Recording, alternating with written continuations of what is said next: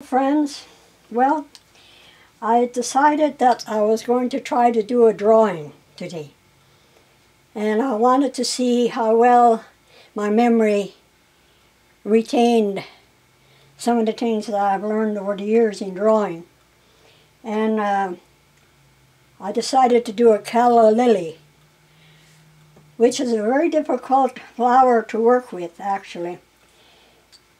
Well, it's been about over a year since I really did some kind of drawing that was worthwhile, and I haven't been practicing because uh, I can't get into my studio. It's chock-a-block full of things in there. Anyway, I decided to do a calla lily with pencil. Now I have three pencils here. One has uh, got no mark on it. The lead is kind of medium soft. And the other two has number two. Uh, and it's uh, they are soft leaded, little softer leaded. And what I did was, because I haven't done any practicing drawing for a long time, I decided that I would use an eraser, these white erasers, to uh, wipe out the wrong lines. Because I want to get it as well as I could in from my memory. So, but if you got the black things like this on the on the white eraser, you're going to mark up everything uh, dirty. You make it muddy, sort of. So you cut it off with something like this, you see. You be careful and cut it off cleanly and then use it again. And it's nice and clean. Now, usually, normally before, I would take me uh, it would take me about maybe 15, 20 minutes to do a drawing like this. But it took me an hour and a half today. And I really had to work. And uh, I erased the wrong lines, but I made sure I left them in so I could see in the future if I wanted to do this drawing or paint and make a painting of it, where I went wrong. And that's the only way you're going to learn if you're going to learn to draw freehand. And basically, this is a cylinder. Uh, so a cylinder would be uh, like,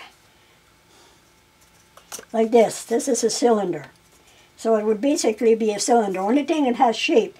And uh, from the stem up to here, it's a cylinder, and then it flares out there. You could add something on the top and make it a half sphere but it's cut off so it's, uh, it goes out in different directions and shapes.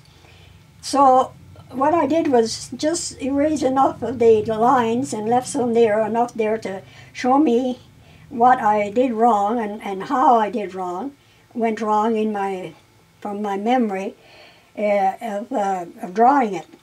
So this is this is it. Uh, I didn't use any uh, any um, uh, filling in or anything. It's basically just a line, but I made sure that different places had lighter lines than others, like in the distance, so that it would give it perspective.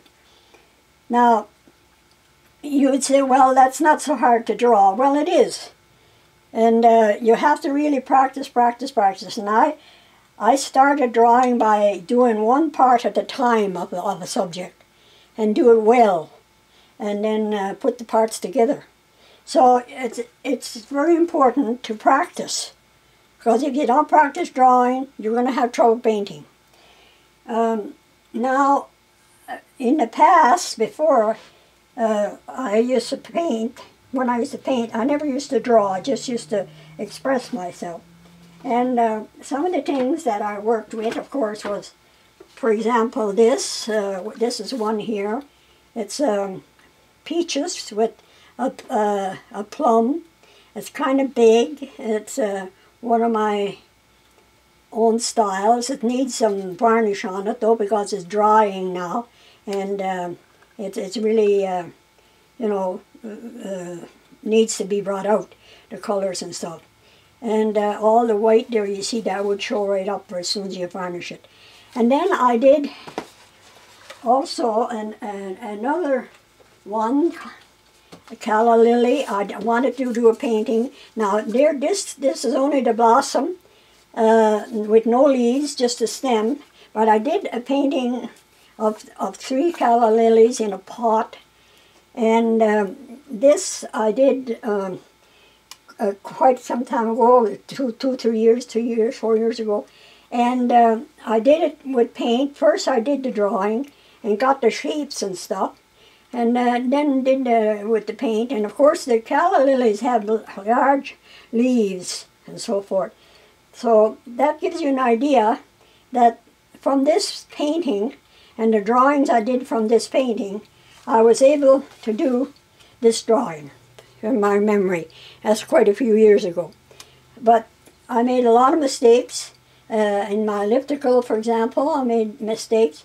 And uh, here, uh, you know, wherever you see the marks here that uh, I had to rub them out with the eraser and do it over.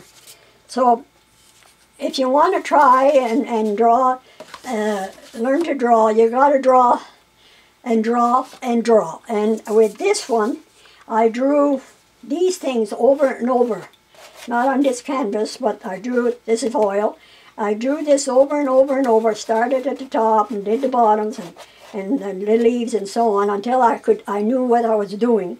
And then I painted it. I did, I put my drawing onto the canvas and uh, then I painted it.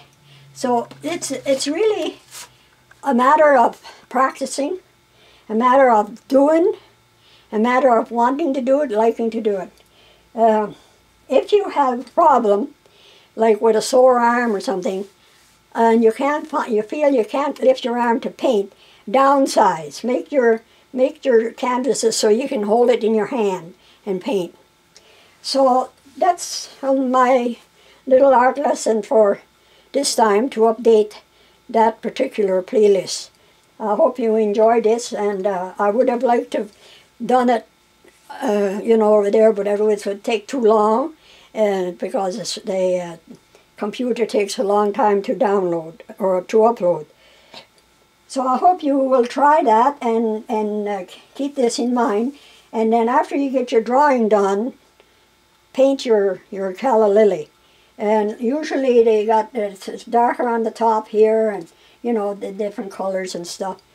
And as you see in here, where's the, where this one here has dark red here and then the yellow greenish on the bottom coming down.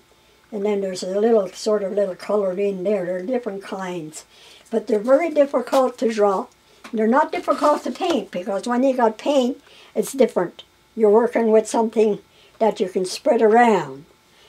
So with drawing, especially a line drawing like this, you got to make sure that some of your lines are difficult to see so that it's got to be in the background to push everything back to give it the, the object some, some volume, some, some you know, uh, perspective.